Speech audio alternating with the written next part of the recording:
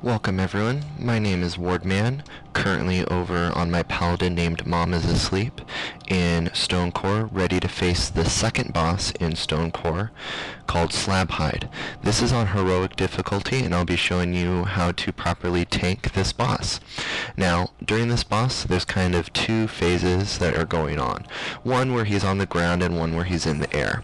When he's in the air, he'll be doing a uh, um, attack where he's going to be knocking the stalactites off of the ceiling and they'll be falling down onto the ground on little black circles that I will uh, note during the fight.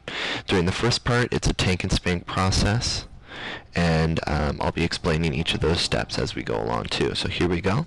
It doesn't matter where you end up tanking him. It could be anywhere in the room. He's going to be end up moving himself at some points. Now it's important to note, you see that little unsettling ground there? That's when um, See, this is him jumping in there. But when he unsettles the ground like that, he's going to be putting an AoE blast on the ground. It's important not to stand on those black circles for too long. Otherwise, as I said, those rocks are going to fall and hit you on the ground, and it can cause some serious damage. Now, as a tank, you're just watching one major thing, and that's actually the ground, seeing when there's unsettling ground there, and you just want to make sure you aren't standing on that. Another thing he's going to be doing is um, a uh, crystal storm. When you see that, you need to get behind those stalactites that have fallen and get out of line of sight so that way you aren't getting hit by those AoEs. They can be uh, really damaging to you as a tank and potentially could cause a wipe if you aren't hiding properly. But as I said, it's mainly tank and spank at this point. I'm just sitting here tanking. Important thing I'm doing is taking note of the ground, making sure I'm not standing on any uh, lava bursts or anything, and uh, taking note when he goes into the air and watching for those black spots on the ground.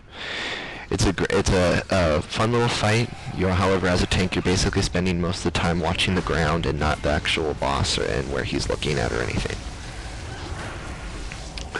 But that's mainly it. It's mainly tank and spank. It's also, if you want for a more advanced tank, is take note of where the healer is at and try and make sure you're constantly within line of sight of him because those stalactites, as I say, uh, will cause line of sight problems.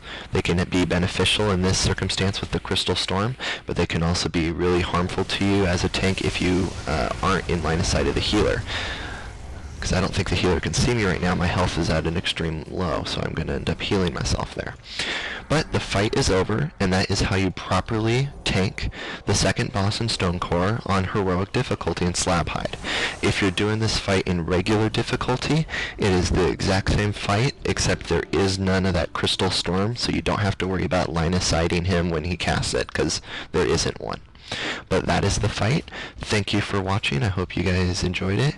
And if you want to see more, please visit us at on our website at wowboost.com. Thank you.